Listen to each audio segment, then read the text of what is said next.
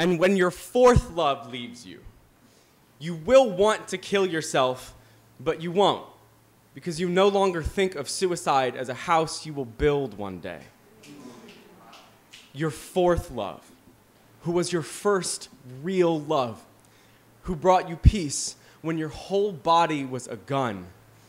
When she leaves you, ask your roommate to hide the knives because you will carve her name into all of the food in your fridge. Stop showering. Fucking warmth will remind you of her. Masturbate in public.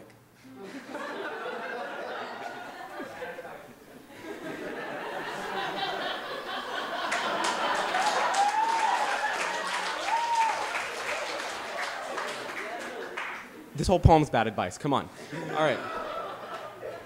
Seriously, though, masturbate in public. Hope someone catches you.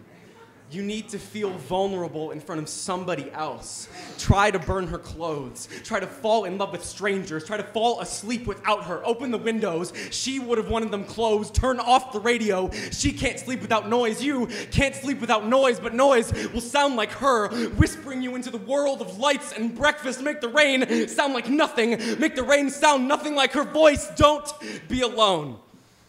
When you're alone, you won't do anything you do with her so you won't do anything.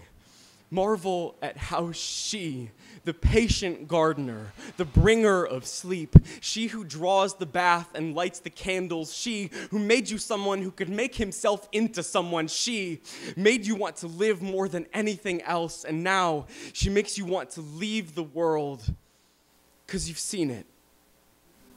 In her, You've seen the color and shape of your perfect life. And now the children, the house, the arguments about tablecloths are all fading, like things left in sunlight, like any dream left too long in the light.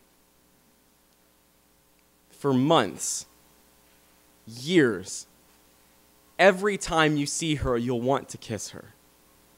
When you do, you will expect pain to come. Like the old dog, you could never bring yourself to put down, but there will be none. You will remind yourself, she will remind you, you will remind each other that this is for the best, that you are physically incapable of loving one another, and in those moments, you will be lying, your heart screaming, I can, I can, I can.